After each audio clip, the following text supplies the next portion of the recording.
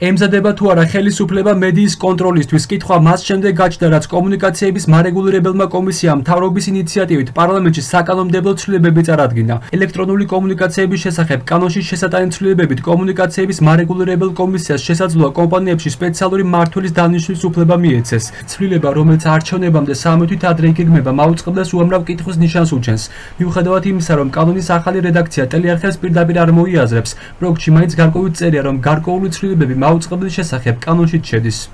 პროექტში რაც წერია იმის მიხედვით ეს გადაწყვეტილება ეხება ყველას, ვინც არის ავტორიზებული კომუნიკაციის კომისიის მიერ. რეგულაციების ახალი პროექტი მედია მენეჯერების მწავე კრიტიკას იწვევს. ტელეკომპანია კავკასიის გენერალური დირექტორი ნინო ჯანგირაშვილი დარწმუნებულია, რომ მარეგულირებელი კომისიის ხელმძღვანელი კახა ბექაური ამ ცვლილებებს საკუთარი მიზნებისთვის გამოიყენებს და კრიტიკულად განწყობილ მედიებს კიდევ უფრო მეტ რეგულაციას დაუპირისპირებს.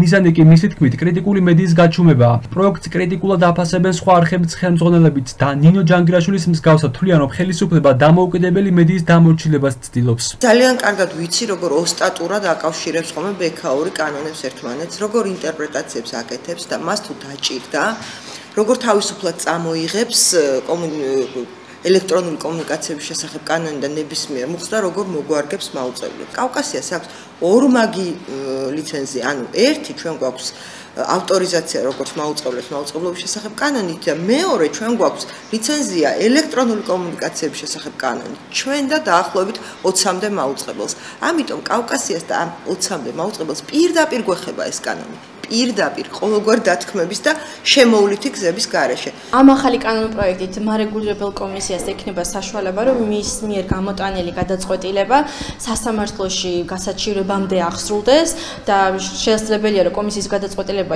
იყოს უკანონო და ეს მოგვიანებით დაადგინოს სასამართლო, მაგრამ კომისია ითხოვს, რომ მაინც აღსრულდეს ეს სანამ სასამართლო დაადგენს შესაბამის გარემოებას და მეორე, ეს არის ელექტრონულ კომუნიკაციებში შესული ცვლილება, რომლის თანახმადაც კომისიას აქვს უფლება, რომ მისი გადაწყვეტილება აღასრულოს სპეციალური მართველების საშუალებით. მედია საშუალებების წარმომადგენლებს კითხვები აქვთ ამავე პროექტის კიდევ ერთ საკითხზე, რომლის მიხედვითაც სასამართლოს საბოლოო გადაწყვეტილებამდე მარეგულირებელი კომისიის განჩნება დროებით შეჩერების მექანიზმს არ დაექვემდებარება. ტელეკომპანიების მიერ გამოთქმულ კრიტიკას უსაფუძვლოს უწოდებენ თავად კომუნიკაციების მარეგულირებელ კომისიაში, სადაც ამტკიცებენ, რომ ცვლილებები მხოლოდ ელექტრონული კომუნიკაციების კანონით ავტორიზებულ პირებს შეეხება და ამას მაუწყებლებთან არანაირი კავშირი არ აქვს. აღსრულების ეფექტური მექანიზმის შესახებ ცვლილებები ეხება მხოლოდ კრიტიკული ინფრასტრუქტურის მფლობელ ელექტრონული კომუნიკაციების კანონით ავტორიზებულ პირებს და არანაირი კავშირი არ აქვს მაუწყებლებთან. რაც შეეხება მაუწყებლობის შესახებ საქართველოს კანონში ცვლილებას, აღნიშნული წარმოადგენს მხოლოდ ელექტრონული კომუნიკაციების შესახებ საქართველოს კანონში ცვლილებების პროექტის თამდელ დაზუსტებას. ამიტომ კიდევ ერთხელ ხაზგასმით ვაცხადეთ, რომ აღნიშნული კანონპროექტი არანაირ შემთხვევაში არ არის მაუწყებლებთან. ნათქვამია მარეგულირებელი კომისიის განცხადებაში. მარეგულირებელი კომისიისა და საქართველოს მთავრობის მიერ დაანონსებულ ახალ რეგულაციებში ბევრ ბუნდოვანებას ხედავენ მესამე სექტორის წარმომადგენლებიც.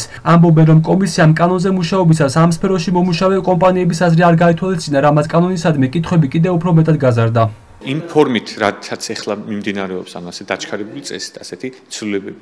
ეს ცალსახად არის შესასწავლის საკითხი, დაინტერესებული მხარების მონაწილეობა აუცილებელია, რომ დადგინდეს, რამდენად მოდის ეს შესაბამისობაში საერთაშორისო სტანდარტებთან და ის საფრთხეები და ის კითხვები, რომლებიც არსებობს სექტორის წარმომადგენლების მხრიდან, უნდა გაეცეს პასუხი. წინაგრძელ შემთხვევაში ეს არ შეიძლება თქო, თავად პროცესი არ იყო გამჭვირვალე, არ იყო ღია და არ იყო ჩართული ამ პროცესში მონაწილე მხარეები. ბუნებრივია ეს პირდაპირ მნიშვნელობით არ არის დაკავშირებული მაუწყებლებთან, თუმცა უნდა გვავიწყდება, რომ ელექტრონული კომუნიკაციების სფეროში რეგულირებაში ექცევა ისეთ დიდი, თქვათ, სუბიექტები, როგორიც არის მაგათად მაგთი, სილქნეტი, ასევე რეგიონული მაუწყებლების მნიშვნელოვანი ნაწილი.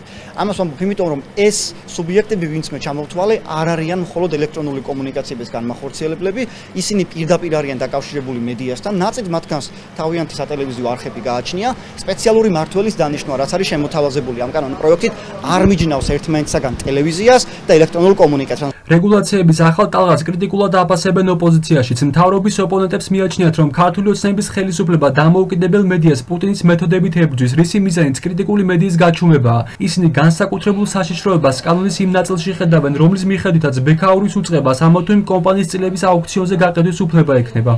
ეს ნიშნავს, რომ ქვეყანაში დიქტატურა ოფიციალურად დაკანონდება.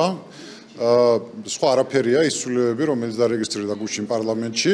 სწორედ ეს შეეხება აბსოლუტურად ყველას, ყველა მედია საშუალებას მერწმუნეთ და დროებით მართველები შევლენ ყველა იმ ტელევიზიაში რომლებიც დღეს არ არიან ბიზნეს ევანიშვილის გავლენის ქვეშ. სწორედ ამას ემსახურება ეს ცვლილებები. პუტინმა სწორედ ამ მეთოდებით დაიმორჩილა რუსეთში თავის დროზე ტელევიზიები და უბრალოდ იგივე გზას ადგას დღეს ივანიშვილი. ხედავთ ეხლა რომ საკუთარი კონტროლებით სასამართლოსთვის მიტანაც კი არ უნდა საქმეების, რომ დრო არ გაეჭიმოთ, ისო უნდა თუ გქონდეთ რეგულაციები, რომლებიც ყველა ლიცენზიანტს და ამას შედის ინტერნეტ პროვაიდერების და პოტენციურად მაუწყებლებიც შეუზღუდონ თავისუფალი შესაძლებლობა მოღვაწეობის და უნიშნონ დროებითი მართველი, ანუ სასამართლო საკონტროლო კონტროლს და იქამდე საპარლამენტო კონტროლს აუქმებენ ამ წინასაარჩევნო პერიოდში.